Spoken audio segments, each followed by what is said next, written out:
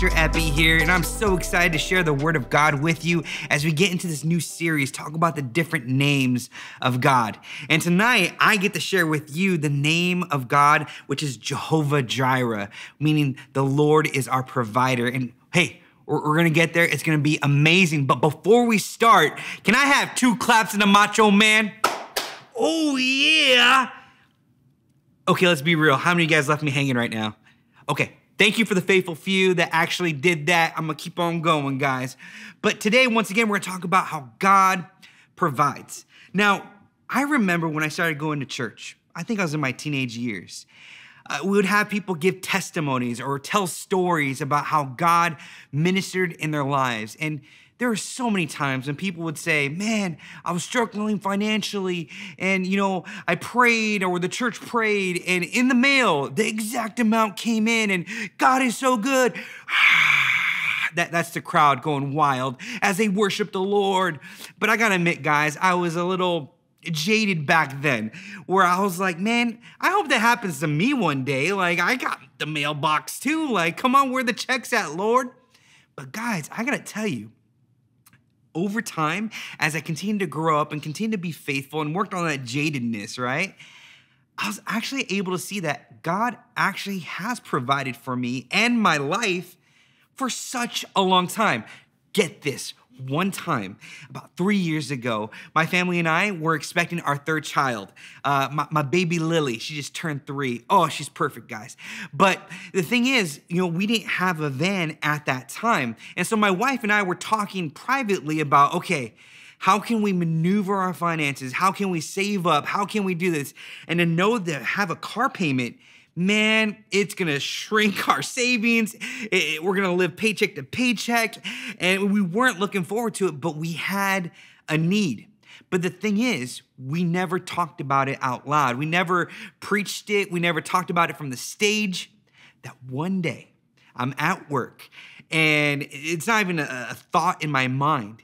And this guy from our church comes into my office. He's never come to my office before. And he says, I need to talk to you. Guys, I anxiety just hit me. Boom! Like, what did I do wrong? How did I offend you? like, I'm going through so many different things of like, did I not say hi to him? You know? And he's like, actually, I need to talk to you outside.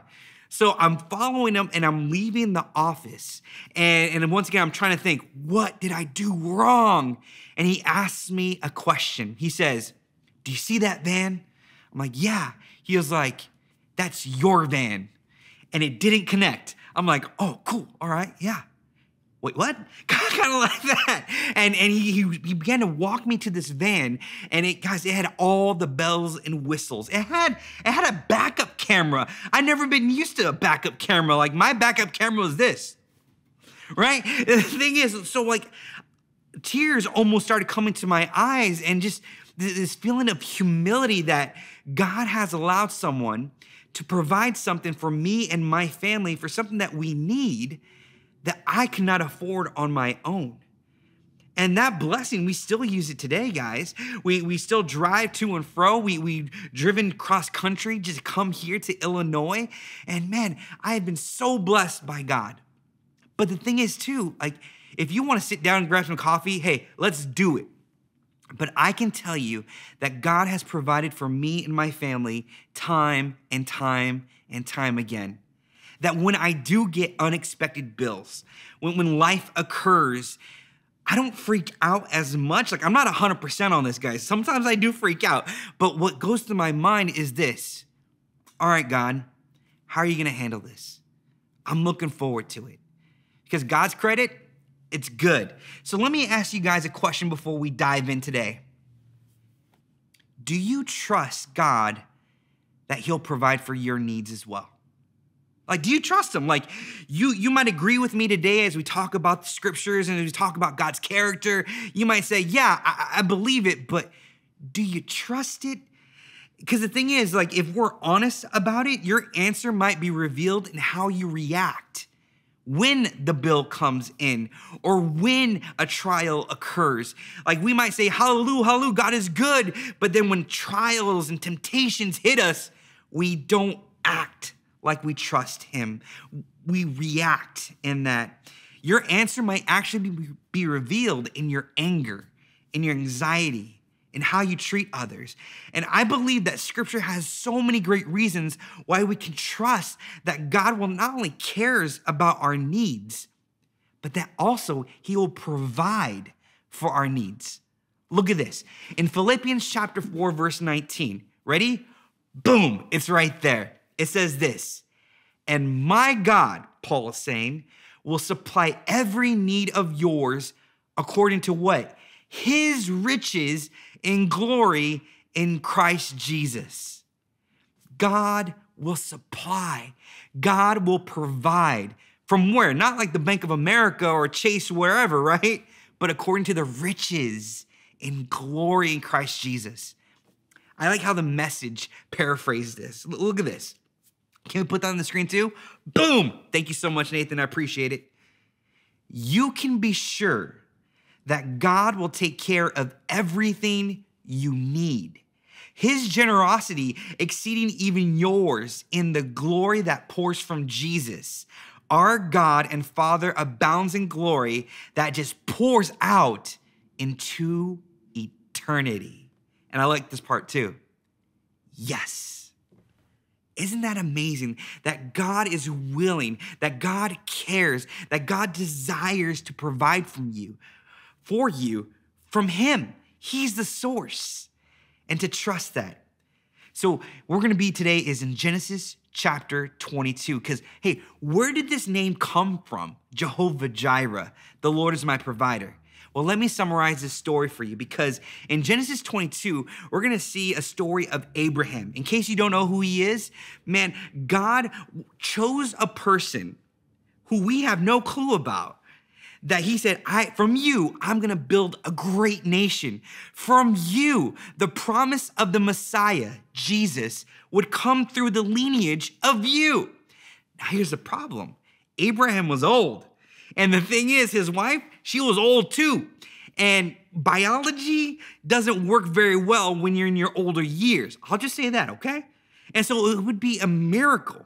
And so Abraham, he waited. Look at this. He waited 25 years for God's promise to occur. And the beauty of Abraham's life, as you read the book of, of Genesis, is Abraham wasn't perfect. He messed up. He tried to help out God. He tried to be his own resource. He tried to be his own bank, you could say, rather than depending on the bank of God, rather than depending on the glory of God to say, God, you said it and you're going to fulfill it. 25 years. So now the promise has come, and his name is Isaac. And you know what happens? As Isaac, well, a lot of scholars believe he's in his teenage years, if not early 20s. And God says, Hey, Abraham, I'm gonna test you, as it says in the beginning of Genesis 22. And this is my test for you, Abraham. I want you to take this promised child that I that I promised, and I want you to sacrifice him. Say what? Like sacrifice. In case you don't know what that means, it means muerto. Wait, I messed up. That's a Spanish word. That means dead right? Like no longer breathing. I want you to go kill this son of yours that I promised. So you know what Abraham did? He said, All right, I'll go. So he gets a crew and he goes with Isaac and he's going up to this mountain. And if you could be in the sandals of Isaac real quick, you can imagine, like, Dad, why are you waking me up so early? I'm riding a camel right now. Why are you waking me up so early? And what are we going to sacrifice? And, and even Isaac says to, to Abraham, Hey, dad, I, I see that we have everything for a sacrifice, but I don't see an animal to sacrifice. And Abraham says, Don't worry, the Lord will provide. Well, we move on. And, and, we notice that Abraham even says to his crew, He says, Hey guys, we, he and Isaac, will be back. Because in Abraham's mind, potentially he might say, All right, God is telling me to sacrifice him. Maybe God will bring him back to life. Or maybe God is gonna stop me. Maybe God is gonna do something. I don't know what God is gonna do, but I'm gonna take a step of faith and I'm gonna be obedient to what God has called me to do. Now, fast forward as you continue to read chapter 22, you start seeing this old man. He's like in his 90s now. And once again, Isaac is about 13 to his early 20s. And, and, and, he says, All right, here, put, put the altar there. And they get the wood and, and, and we're getting it ready, kind of like a barbecue a little bit. And, and he says, All right, Isaac, lay down. Say what? Lay down, son. And Isaac lays down. And as you continue to read, it says that Abraham started to bound, bind him to the altar. Now, once again, be in Isaac's shoes for a second. You're like, okay, dad, like, what the heck? Isaac could have easily just overpowered his dad. He could have said, Dad, you're tripping. But Isaac was obedient as well to trust his dad. And so, anyways, so he's bound. He can't move now. And in the mind of Abraham, he's about to sacrifice his son. And, and the thing is, he, he got a knife. And, and now to take a sacrifice, you know, Abraham wouldn't be like, okay, um, it's gonna be icky. Ugh. Like he wasn't gonna shank him to death. Abraham says, if I'm gonna kill my son, I'm gonna make it as painless as possible. I'm gonna be as swift as possible. And so, just in that mindset, he gets his hand up, and then the angel of the Lord said, Okay, okay, calm down, Abraham. You've proven yourself. You have, you have been faithful. And God then provided a ram to be sacrificed. And that was a place where, where, where Abraham said, I'm going to call this place the Lord provides.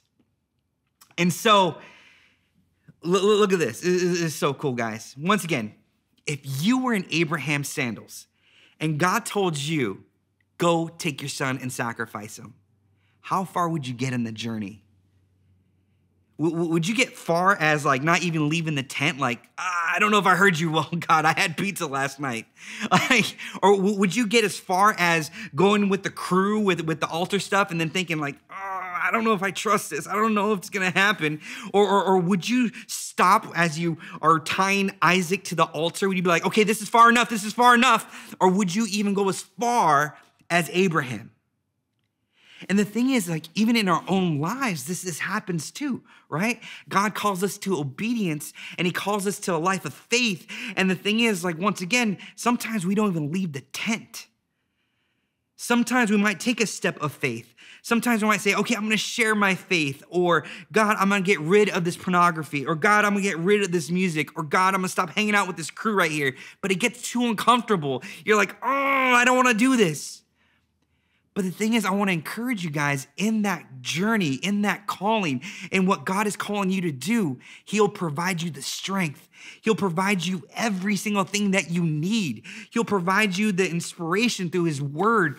He'll provide you a community of people through our tribes. He'll provide you the empowerment, the supernatural empowerment that you need to live this life of obedience. Crave. But once again, how far are you willing to go? So here's the bottom line of our lesson today. Are you ready? The Lord is our provider. So let me revisit this question once again. You can agree with me about the story. It's right there in your Bible, Genesis 22. The Lord provides. In Philippians, the Lord provides from his glory. But do you trust him to provide? Because scripture says he cares about you. Scripture says that he is ever present. Scripture says that he hears your prayers. And tonight we shared that God provides. And maybe one day your need will be financial. Maybe your need will be for a friend, or your need will be for peace, or maybe it's for purpose and identity. God, what is my calling? The Lord provides. He'll provide that friend, He'll provide what you need. And remember, God is not some holy cosmic genie saying, okay, what do you want? Because sometimes, as we read in the book of James, chapter 4, we ask amiss, meaning this. Like sometimes we try to talk God. Don't, don't lie, guys. Come on. Like we try to talk God into doing what we want to do. Like, like, have you ever prayed this? Like, Lord, can I have a Bugatti? Now, hear me out, God, right? If you gave me a Bugatti, then I would drive kids to crave, right? Would you say that? I mean, I prayed that one time, right? Or, or, God, would you give me a mansion? And you know, and if you gave me a mansion, then I can have tribes here, you know, once a month. Yeah, but the thing is, like, God knows our hearts that sometimes what we're asking for is more for our selfish gain. But God has promised that He'll give you what you need. And so I want to challenge you guys to look away from the pain, look away from the struggle, look away from the doubts, and look towards God who says, I will provide for you. I will be with you every single step of the journey. And hold on to this timeless truth. Ready? Hey, Crave, come on, get, get, get your hands up. Here we go. Look at this. He provides for you and he pours out provision on us. So instead of us trying to solve our own problems and provide for ourselves, call to the provider. You can say, Jehovah Jireh, Yahweh, you are my provider and I need you. Lord, I need you. And hold on to this verse. You ready? Philippians chapter 4, verse 19 from the message. Boom. You can be sure that God will take care of everything you need his generosity exceeding even yours, and the glory that pours from Jesus, our God and Father abounds in glory that just pours out into eternity. Yes. So tonight, I ask you guys this Have you been dependent on your own resource? Ask for forgiveness and say, God, I don't want to depend on me anymore. I desire that you provide for me that you provide the friends, you provide the, the patience, you provide the grace, you provide the love. Because God, when I do it, I run out or I'm on, you know, fumes, whatever it may be. But God, I just want to live from the overabundance of everything that you provide. God is so good. Amen, Crave? Let me pray for you. God, I thank you so much that you don't leave us high and dry that you are not just an observer of our lives, but you engage with us. You empower us. You provide for us for every single thing that we need.